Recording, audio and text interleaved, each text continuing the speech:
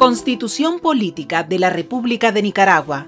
Título cuarto. Derechos, deberes y garantías del pueblo nicaragüense. Capítulo primero. Derechos individuales.